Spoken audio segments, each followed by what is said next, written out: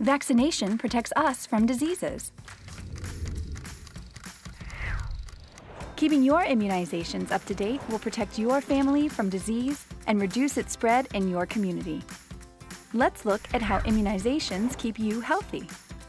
Vaccination introduces a portion of a weakened bacteria or virus into the body, usually by injection. When your immune system goes to work, it's as if you were exposed to disease. But here's the difference virus or bacteria in a vaccine won't make you sick. Instead, the vaccine prepares your body with a defense. And because vaccines provide such a tiny amount of virus or bacteria in an injection, getting more than one vaccine at the same time won't overwhelm your immune system. Dead or weakened viruses and bacteria are the main ingredients in vaccines.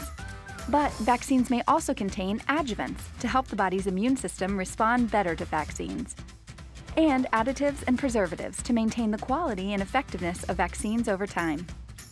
These ingredients are safe. In fact, many of them can be found in the foods we eat or in nature. Canadian laws and regulations set high standards for vaccine development, safety, and testing. Canada also has strong health systems to oversee and monitor vaccines as they arrive on the market and are sold to the public. Vaccines are safe. Talk to your doctor, nurse, pharmacist, or public health office about keeping your family's immunizations up to date. To learn more, visit immunize.ca.